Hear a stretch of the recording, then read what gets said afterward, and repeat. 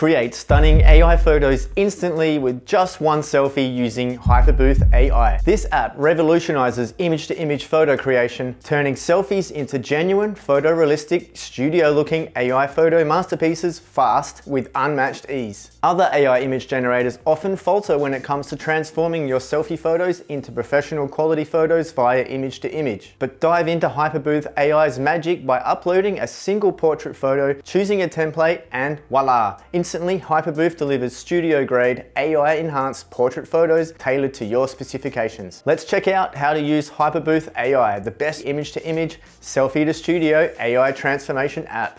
To get access to Hyperbooth AI image-to-image, -image, just Google up Hyperbooth AI and come to the first results. And here we are on the homepage, create stunning AI photos instantly with just one selfie. We have 200 different styles to choose from and here are some examples that we have in the past. So here is the selfie that was uploaded to Hyperbooth AI and here is the result. So we can see the original selfie of that person, um, you know, not a high quality photo, but the result is a high quality studio photo just from that selfie that was uploaded. So that's fantastic. Coming on down a bit further, all you need to do is upload one selfie and you can use your input photo to get any result like these. Comparing to other AI image generators out there, Hyperbooth AI is better with photorealism, creative photo style, and maintains ethnicity and is clear and sharp, whereas some of these other ones can't tick all those boxes. So Hyperbooth AI definitely claims to be far superior in these areas, and we're gonna find out just how superior it is in this video. Click up here to sign up and you can do that using the credentials from either your Discord logins, your Google or Facebook logins, or even just use your email address. It's absolutely free to sign up and you can get up to 20 free photos every day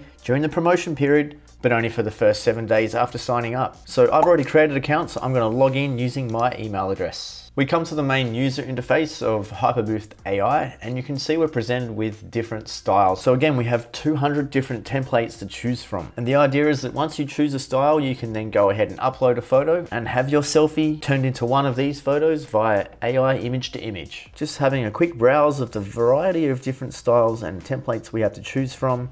Everything from different types of artwork, 3D caricatures, anime, game art, professional corporate, or even white wedding. Even go ahead and give yourself a graduation photo. And the list goes on and on. Let's go ahead though and choose professional urban park charm. So that was the choose style section. This is the personalized section where we upload a photo and adjust some settings. We can see up the top here, we have our user menu and number of credits that we have, and then a start generating button. So there's a little bit of a guide here as to what kind of selfie to use. We want to use a frontal portrait, not from the side or with multiple people in it. And you don't want to have yourself where your face is too small relative to the rest of the photo. Don't cover it with your hand or sunglasses or a hat even, and no unnatural expressions, and of course no nudity. So I do have a photo that I've uploaded before, but we're gonna start with a fresh new selfie that I've just taken. Here is that selfie. Yes, it satisfies all the requirements. It's front on, no unnatural expressions, and my face takes up a large proportion of the image. So let's go ahead and upload that. It really is important to use the best quality selfie that you can, as this will give you the greatest chance to get the best possible result with Hyperbooth AI image to image. And in the frequently asked questions section, we can see it emphasizes these guidelines for what type of photo or selfie to upload. And another one to note here is it should not be fuzzy, it needs to be nice and clear. The last step for this section is to choose an aspect ratio. So we've got the different ratios and then what configuration they are, whether that be portrait or landscape. So we'll go with 2-3 portrait for this one. So at the moment in this promotion period, this is a free generation. So let's go ahead and generate that. So now this is the generate section and we have four photos being generated, which is great because it's gonna give us four different options to choose from. And we've even got a countdown timer, which is great. You don't see that in other AI image to image generator programs. We'll speed up this timer for the purposes of the video. Awesome, and the results have come through. Well, straight away I can see that the quality of the image is super high. The detail is amazing. Look at the detail in that jacket. Looking at all four of these images, they're all very crisp and sharp. Out of the four images here, I think this one looks the most like me. Of course, I've got a different haircut. Actually, I don't mind that style for me. In all of these examples, it's giving me a smile and it doesn't actually know what my teeth look like from my selfie image that I sent. So maybe later I'll use a different photo with me actually smiling and see how it does with that. I do love the blurred background. It really does look like I'm in a park there. So that's pretty good. Let's compare my selfie with the result and we can see it's done a pretty good job with the nose and my eyes here are looking much better. It's done a really good job with matching my ears. Obviously my hairstyle is very different and my beard is groomed a lot nicer So it really does look like it's a photo taken with a beautiful camera and perhaps a little bit of light photoshopping done. See all my blemishes are gone and my skin is nice and smooth here. From here, I could either redo the output or try a new style. I'll use that same photo from before and generate. Great, here's another set of results and they're all looking quite nice. In fact, all three of these are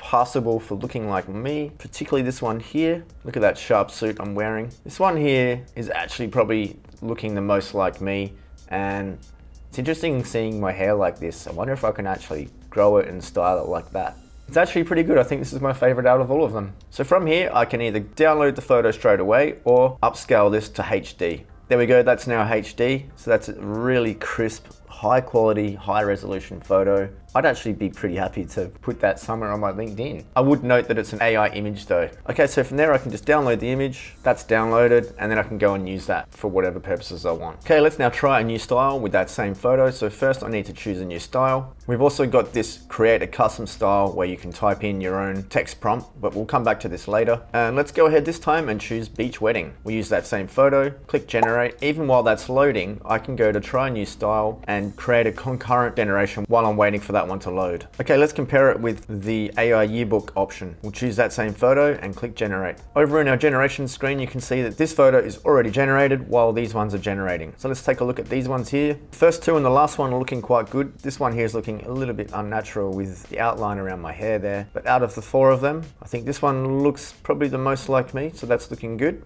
Or maybe that one. So I'll go ahead and HD that one. That's now HD and download.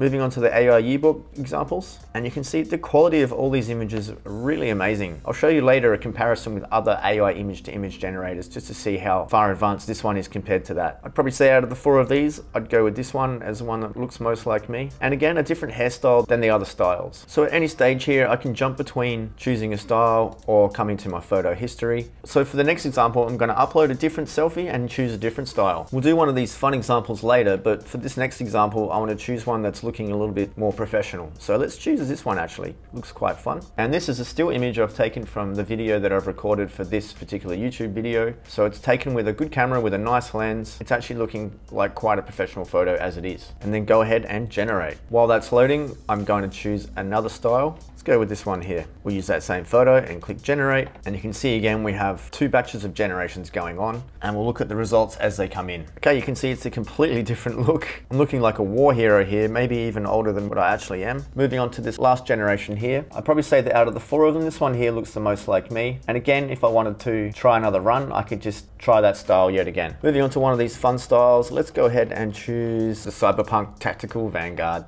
Use that same photo and generate that one. Let's see how we go. This one here is looking the most like me.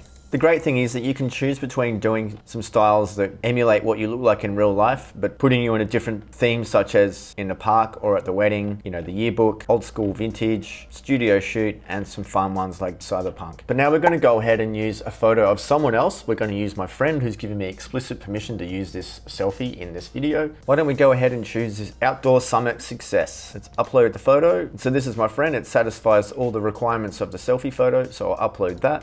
This time let's go with 16 by 9 aspect ratio and generate that. Okay, here's the results. Wow, yeah, they're all actually really quite believable and they're looking a lot like my friend, particularly this one here. So I think he'd be happy with that one there.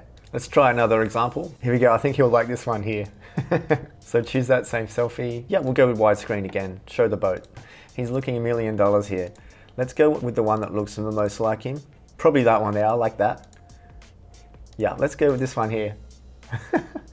Love it. It's HD it and send it over. Before I go ahead and show you how you can create a custom style, what I'm gonna do is I'm gonna compare Hyperbooth AI image to image with the results of a different AI image generator. I'm gonna compare it with Playground AI, which is a great free AI image generator program, which you can see all about in this video here. But what I'm gonna do is I'm gonna come down to the image to image section and upload this photo here. I'm then gonna give it the prompt of professional corporate studio photo with a gray suit jacket. I'm gonna choose four variants and then see what it comes back with. Okay, straight away we can see it's given us the result that we've wanted with the studio photo with this gray suit jacket, but the image is looking absolutely nothing like me.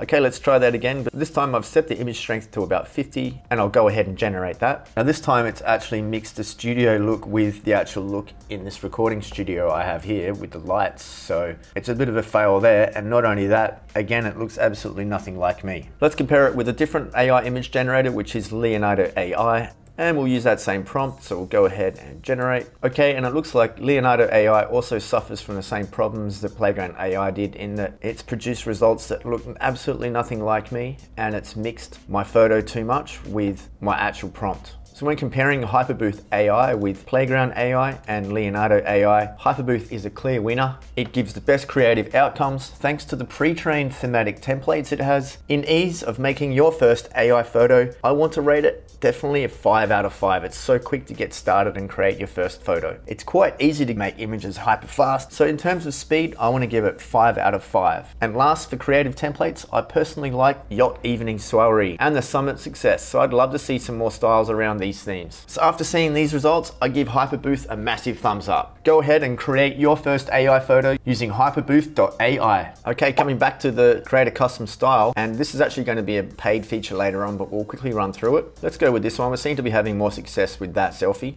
Sitting in an empty cinema eating popcorn. That's awesome, I love it. Actually, that's a really cool look. Probably all four of them are usable. Let's have a look at all of them individually. Okay, which one looks the most believable like me? Probably that one there. That's a huge bowl of popcorn though. This one's also pretty good. Actually, that one's the best effect. I like that because it looks the most like me and the wide angle lens really shows that popcorn bucket being huge. I'm actually really impressed with this result. So you can see that with Hyperbooth AI, you can mix and match between having some professional looking photos or use some fun styles such as being a cyberpunk hero or even something as simple as sitting in a cinema like this. I use a lot of real photos of me when creating thumbnails for my YouTube videos, but I can really see myself using Hyperbooth AI to create scenes such as this to be on topic with the theme of the video that I'm producing. If AI generated images from photos wasn't enough for you, then check out this video next to see all about the power of AI generated video with Sora. Also subscribe to the channel so you can get more AI updates as they happen. Thanks for watching and I'll see you in the next video.